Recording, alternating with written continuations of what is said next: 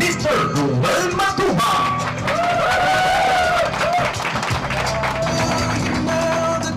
Bakit ba ako'y laging ganito? Lagi akong di mo pinapansin Para na lang akong laging sumusunod sa gusto mo Lagi kitang inaalala Kahit di mo ako pansin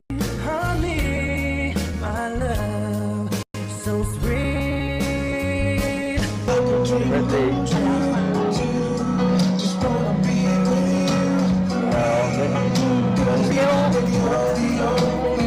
Sana tulog ako ngayon. Enjoy mo na lang. Pa. Enjoy ka muna ngayon.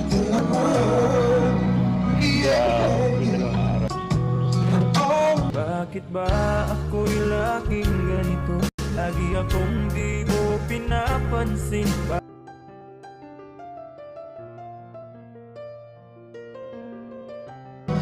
Time,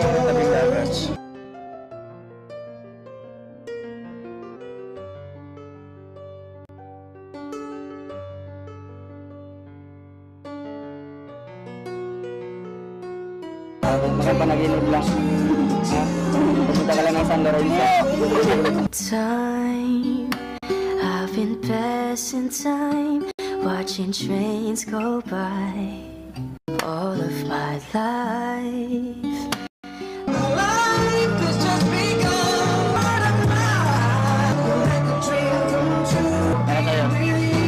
Nalagyan ng letter. Once again, ladies and gentlemen, yan, so we have the dancers or the slow dances.